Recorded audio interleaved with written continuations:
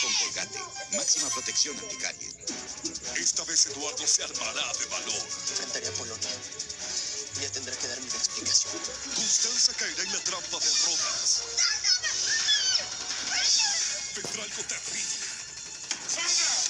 Contra viento y marea, una tempestad que lo cambiará todo.